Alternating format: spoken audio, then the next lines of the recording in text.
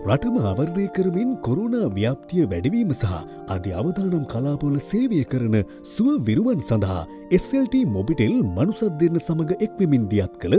සුවවිරු උපහාර වැඩස්ටහන පසුගියදා නැගෙනහිර කොළඹ මූලිකරුහලේදී සහ කරාපිටිය ශික්ෂණ රුහලේදී පැවැත්වනා. මෙම සූවිරු උපහාර වැඩස්ටහන මගින් කොරුණා නිවාරණයට රිජුව සම්බන්ධ වී සිටින අපගේ මහජන සෞඛ්‍ය පරීක්ෂකවරුන් අපගේ මහජන සෞඛ්‍ය නිලධාරයෙන් පවුල් සෞඛ්‍ය සේවිකාවන් ගිලන්රත රියදුරන් ආදාහනාගාර සේවකයන් රොහල් සාත්තු සේවකයන් හෙද කාර්යමණ්ඩලිය සඳහා අදාළ වෛද්‍යවරුන්ගේ සහයෝගයෙන් මෙම සූවිරු උපහාර වැඩස්ටහන ක්‍රියාත්මක කරනු ලබනවා.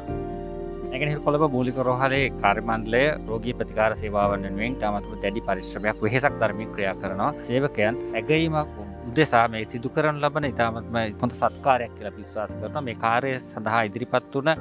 එසල්ට මොබිටෙල්ලා ඇතනත් සමඟ අත්වල් බැඳගෙන මනුසත්දරන ක්‍රියාන්විතය මේ අපේ සෞඛ්‍ය සේවකයන් ගැන හිතලා මේ වගේ ක්‍රියාන්විතය අධ්‍යාත් කිරීම ගැන ස්තුතිය පිරිනමනවා. ඇතරම මම මේ වෙලාවේ